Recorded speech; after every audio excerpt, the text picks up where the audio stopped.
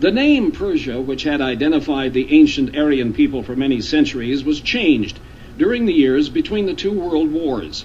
In 1935, Persia officially became the Islamic Republic of Iran.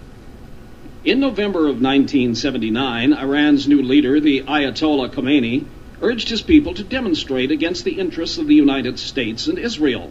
He denounced the American government as the Great Satan and the enemies of Islam.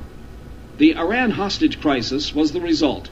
From November 4th of 1979 until January 20th of 1981, a period of 444 days, student proxies of the new Iranian regime held 52 diplomats and other American citizens hostage.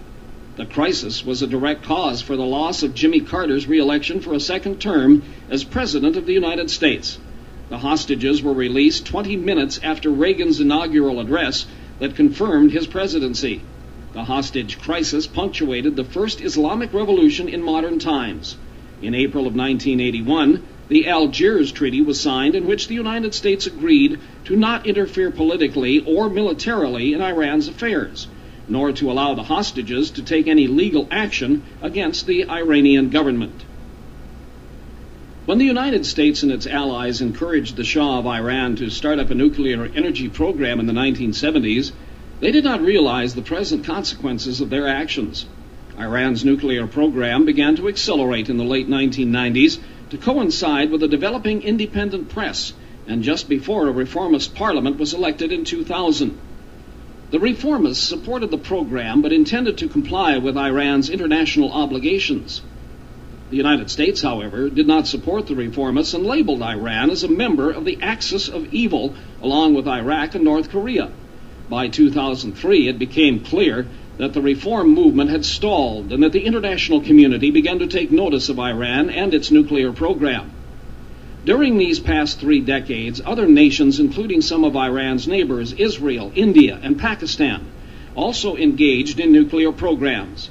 The situation has become increasingly dangerous, and there is growing hostility between Iran and the United States.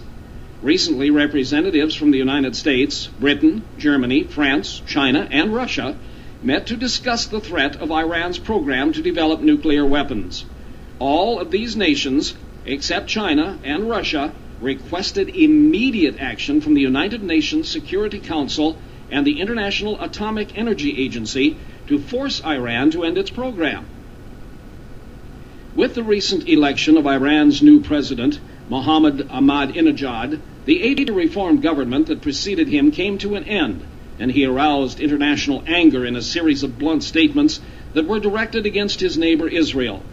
In one of his reckless speeches, he said that Israel should be wiped off the map, or perhaps that it should be transferred from their present location in the Middle East to a new location in either Europe or North America. He suggested that some European countries, or the United States, Canada, or Alaska, could give a portion of their land for a Jewish state. Furthermore, he said that the Holocaust during World War II was a myth that served as Europe's pretext for the very existence of the State of Israel. His extremist and inflammatory comments reflect his intention to become the leader of the anti Israeli campaign in the Middle East. It also underscores the reason it is so important that the international community work together to prevent Iran from any further development with their nuclear weapons program. Israel's foreign ministry spokesman reacted to his statements by accusing him of acting outside international law.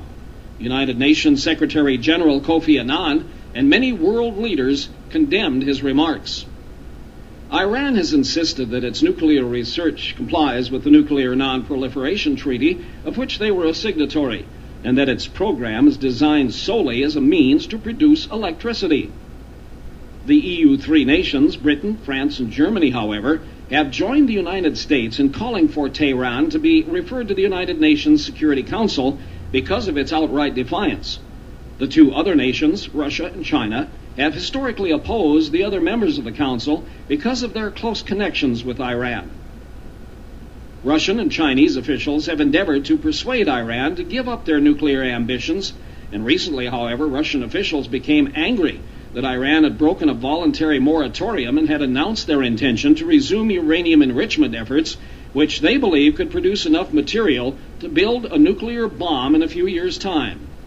Russia was unable to persuade Iran to accept a compromise proposal that would justify the United States and the EU3 in which a joint Russian Iranian project would enrich uranium in Russia.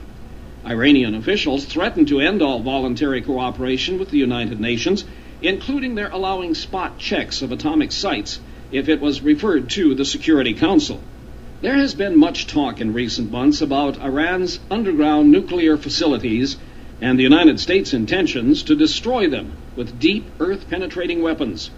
Chris Ford, in an article, Times Arrow, The Coming Nuclear Epiphany in Persia, Washington Post of April 20th, 2006, refers to Seymour Hersh's report in The New Yorker of April 8th, 2006.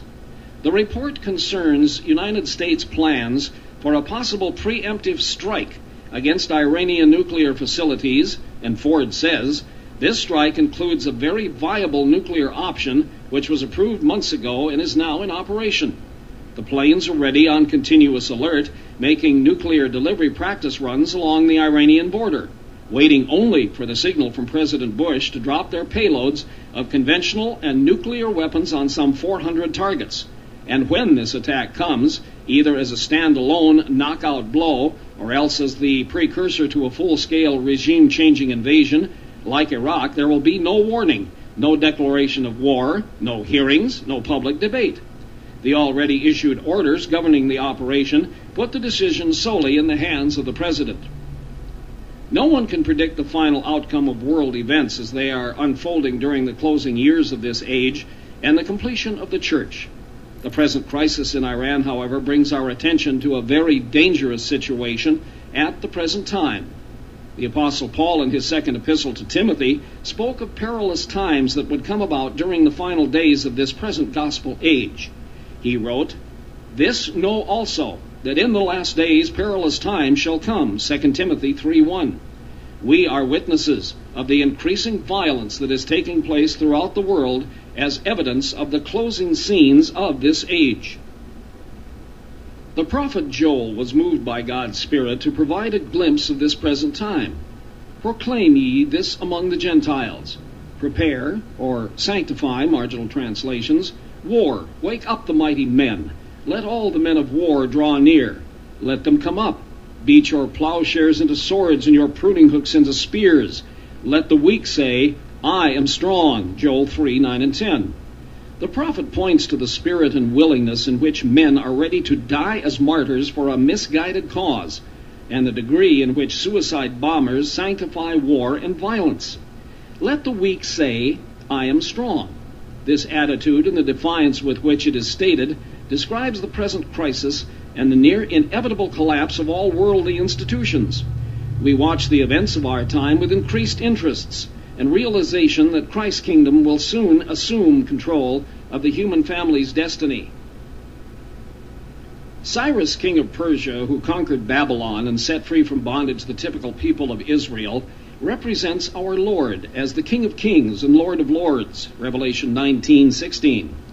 Babylon felt secure behind its massive impregnable walls, enormous gates, and ample provisions stored against any threat or siege.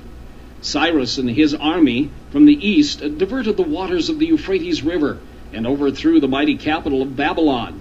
The city was not only overthrown, but also the entire empire, together with all of its great power, influence, and idols of silver and gold.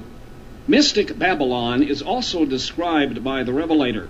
Upon her forehead was a name written Mystery, Babylon the Great, the mother of harlots and abominations of the earth. Revelation 17:5.